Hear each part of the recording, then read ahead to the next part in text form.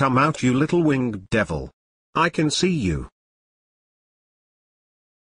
Dad, what are you doing in my room? I am going to kill this fly any way necessary. Just don't do nothing stupid again. Remember when you hit me with a baseball bat? How about this time you just get a spray? No he is going to pay my way. Well it killed the little flying pooing devil.